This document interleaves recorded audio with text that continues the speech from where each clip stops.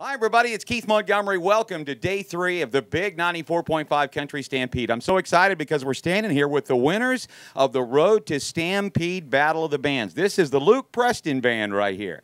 And also, this is Rusty, Rusty's Last Chance, and Kites Grill and Bar.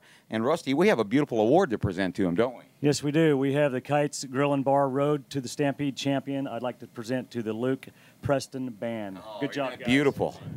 Turn that around there, Luke. Beautiful trophy here, beautiful, and we're so proud to have accomplished this. And uh, Kites and Rusty showed us a great time, and I'm glad we could we could do this. Okay, guys, you ready to play?